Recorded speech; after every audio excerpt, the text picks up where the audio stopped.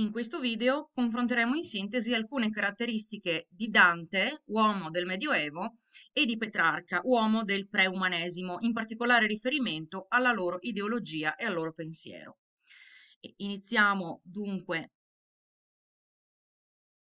ecco qua, osservando i ritratti di Dante e di Petrarca con una definizione, se vogliamo, sintetica. Dante uomo di certezze, un intellettuale sicuro di sé, trasmette un messaggio chiaro e unitario, quello dell'uomo del Medioevo, appunto, basato sulla certezza, basato su una eh, realtà organizzata in modo gerarchico, al vertice della quale c'è Dio, ci sono l'impero e la Chiesa e tutto il resto si articola intorno a questo punto centrale. Eh, Petrarca fa un passo avanti rispetto a Dante, inizia già ad applicare quello che sarà il senso critico ai problemi eh, tipico del Rinascimento. Ecco, un uomo di oscillazioni, eh, caratterizzato da dubbi, pentimenti propria, sul proprio comportamento, sul proprio modo di agire e analizza in modo critico ogni suo passo, ogni problema che egli incontra. Passando poi alla concezione dell'amore e dei classici, ecco, noi osserviamo che per Dante L'amore è fonte di beatitudine e via per raggiungere Dio. Basti pensare a come viene raffigurata Beatrice sia nella vita nuova sia soprattutto nella commedia. Ecco, eh, Beatrice non è eh, intesa come una donna amata in quanto tale, ma più come appunto una donna angelo, come una via eh, che porta verso Dio. Il suo non è un amore carnale, ma è un amore tutto spirituale.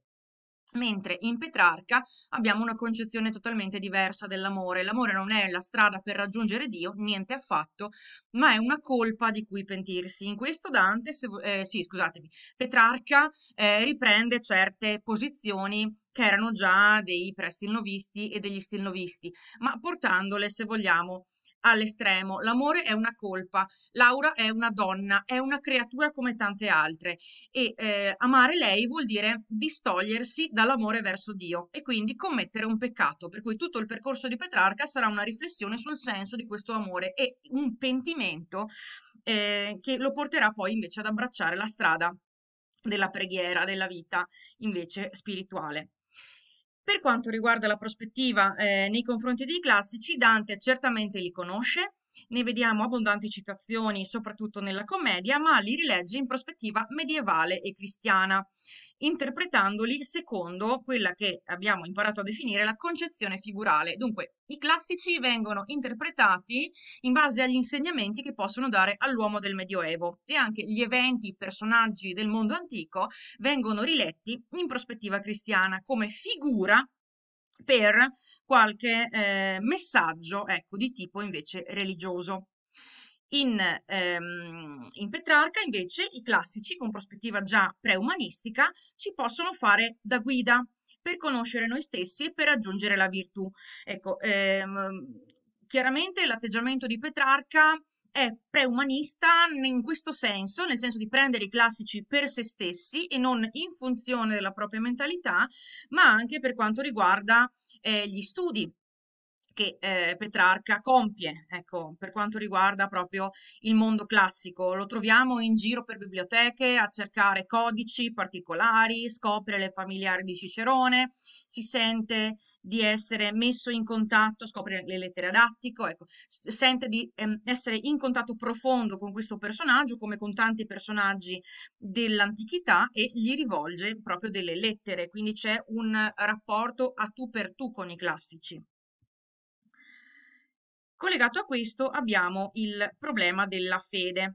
Ecco, in Dante la fede è salda e collettiva, la fede tipicamente medievale dell'uomo del Medioevo.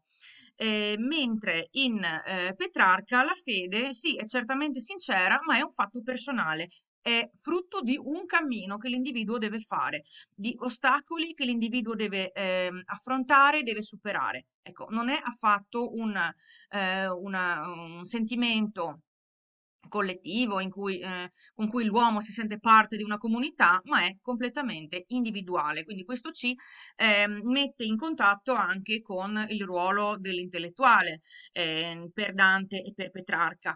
Per Dante l'intellettuale è un ruolo pubblico, infatti Dante si inserisce nel mondo comunale, lui stesso ha un ruolo politico.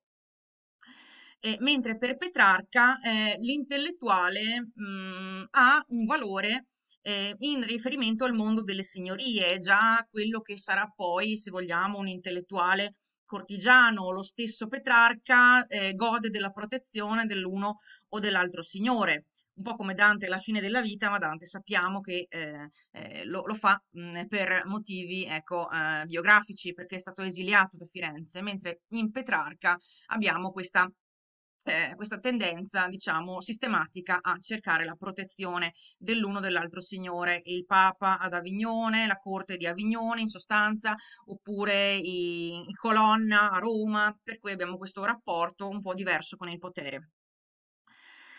Concezione del sapere. Ecco, Dante punta alla sintesi enciclopedica di tutto il sapere medievale e quindi la Divina Commedia opera in questo senso. Divina, la Divina Commedia è una specie di enciclopedia.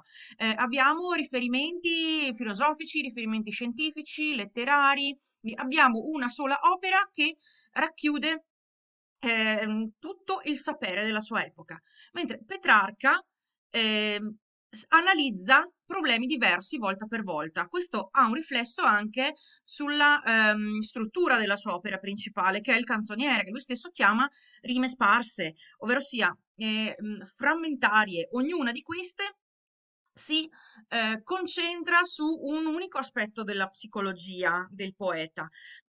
Alla fine, però, considerando le rime, considerando il canzoniere nella sua unitarietà, possiamo rintracciare eh, le impronte di un cammino che Petrarca fa eh, dal peccato verso il pentimento. Questa concezione della cultura e dell'analisi eh, dei, vari problemi si riflette proprio nella concezione in generale della vita ecco, che eh, deve essere raccontata nelle opere dei due poeti.